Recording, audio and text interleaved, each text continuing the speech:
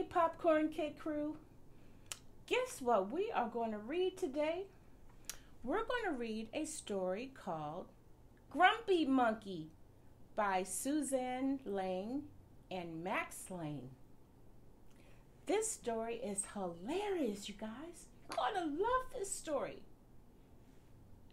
Grumpy Monkey. Is the monkey really grumpy? Or do all his friends try to tell him he's grumpy? Well, let's read together and find out.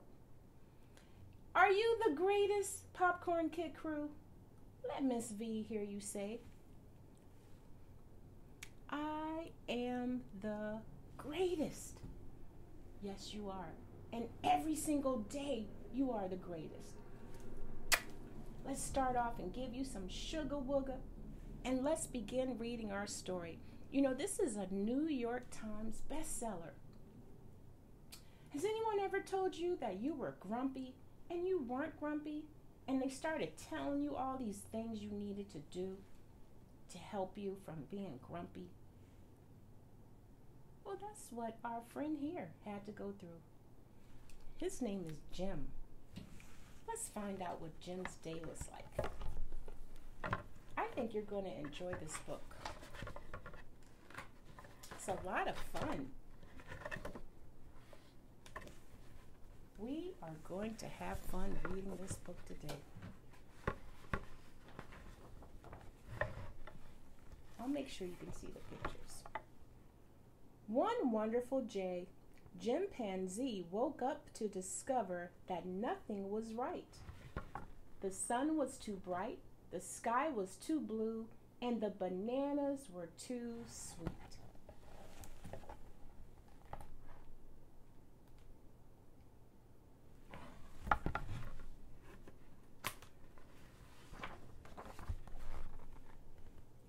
Jim was confused.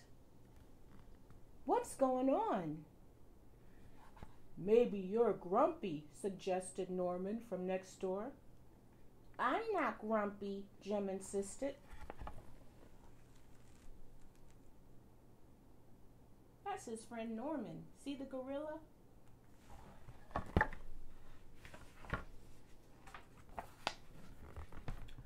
On his walk, he met Marabou.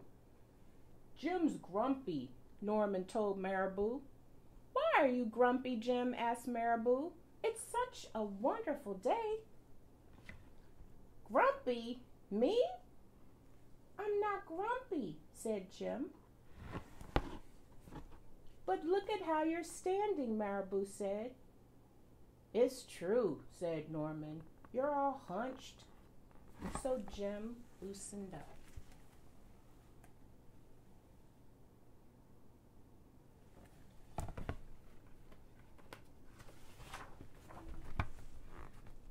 Then he ran into Lamar. Jim's grumpy, told Lamar. Why are you grumpy, Jim? asked Lamar. It's such a wonderful day. Grumpy? Me? I'm not grumpy, said Jim. Your eyebrows look so grumpy, said Lamar. It's true, said Norman. They're all bunched up. So Jim raised his eyebrows. Oh my goodness. Is everybody telling him what to do? Well, he's trying.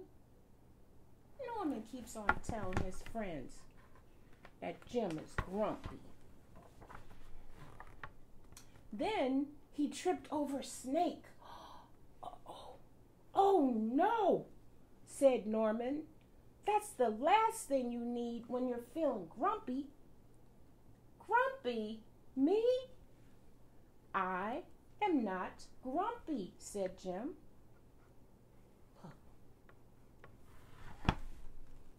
Then why that frown? said Snake. I think it's because he tripped over you, Norman whispered to the snake. So Jim put on a smile.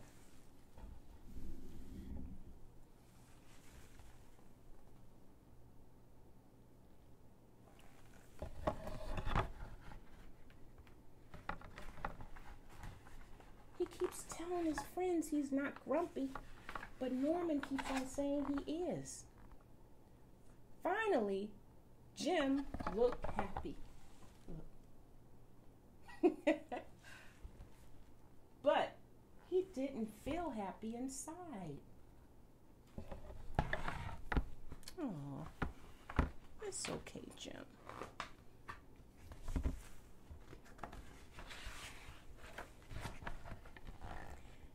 Everyone wanted Jim to enjoy this wonderful day. You should sing with us, said the birds. Jim didn't feel like singing. You should swing with us, said the monkeys. Jim didn't feel like swinging.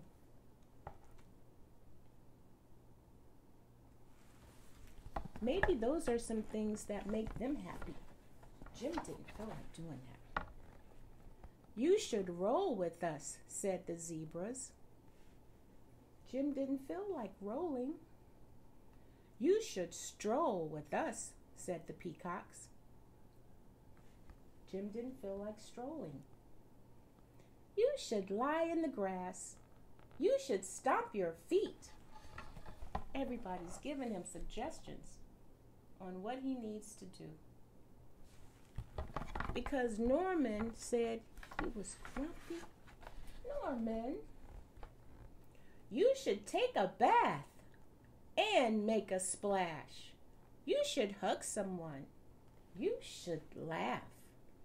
You should take a nap. You should eat old meat or some honey. You should jump up and down.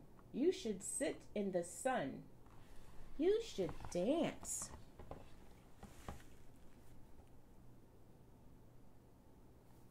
His friends are making all these suggestions of what he needs to do that will probably make him happy. Have you ever had a day like that where people thought you were grumpy and you weren't?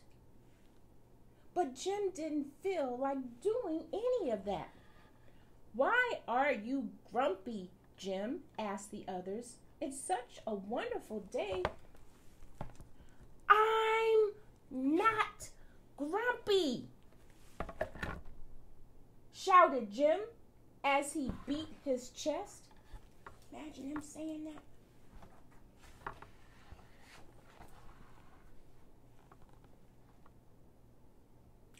Look at all his friends.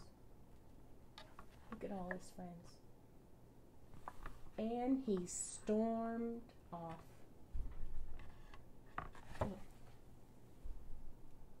He stormed off.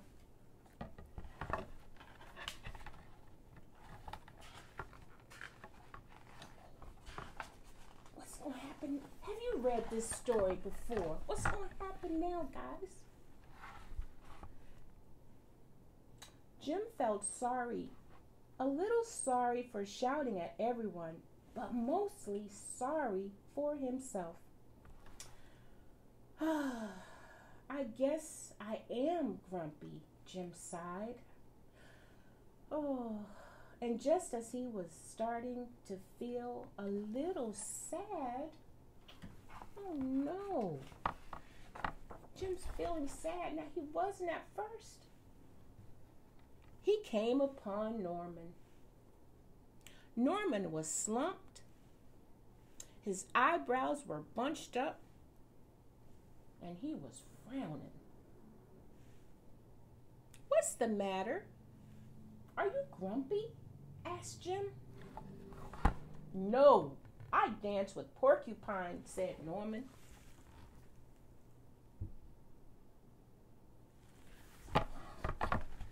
Oh, now Norman interesting. I want you all to see. he danced with Porcupine. What's sticking out on the box? What is that? Oh my good. What kind of dance were they doing?